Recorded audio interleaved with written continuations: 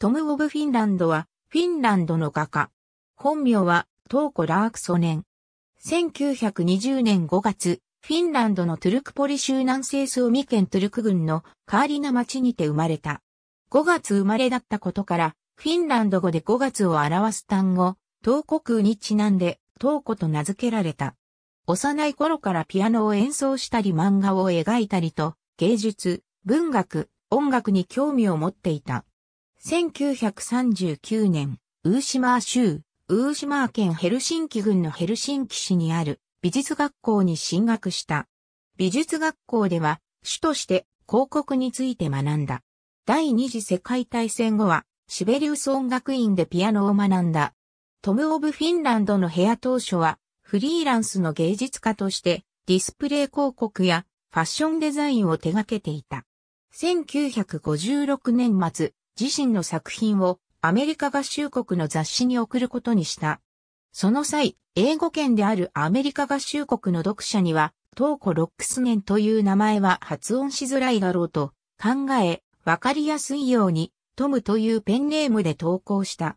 この作品は、翌年に、ファジーック・ピクトリアルの紙面を飾ることになったが、その際のクレジット表記は、トム・オブ・フィンランドとして掲載されていた。これが、きっかけとなり、その後は、トム・オブ・フィンランドを名乗って、作品を発表するようになった。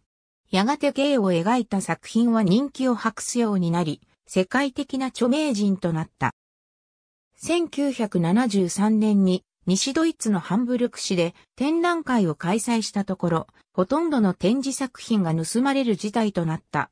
1991年11月に亡くなった。作品においては、レザーなどの衣装を身にまとい、筋骨隆々としたたくましい芸の姿を描いた。従前の芸はひ弱で軟弱に描かれることが多かったが、トム・オブ・フィンランドの作品はこれまでの芸に対するステロタイプ的なイメージを覆すものであった。また、作品においては、自身の友人をモデルにすることが多かった。同性愛者の性的なイラストにおいて、新しいジャンルを切り開いた先駆者であり、世界各国の芸術に影響を与えた。作品は、ニューヨーク近代美術館にも収蔵されている。日本においても多くの芸術家に影響を与えた。例えば、漫画家の田亀源五郎は、いち早く、トム・オブ・フィンランドの作品を日本に紹介した。なお、田亀は、日本で初めてオフィシャルに紹介したのは、おそらく私が最初だと述べている。母国であるフィンランドでは、トム・オブ・フィンランドの作品をあしらった記念切手も発行されることになった。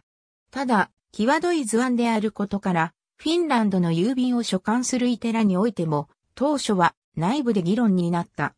しかし、同性愛を力強く表現した彼の作品は、そのジャンルで象徴的な地位を確立し、ポップカルチャーやファッションなどに影響を与えたとの理由から、その功績を称えるために、切手の発行が決定した。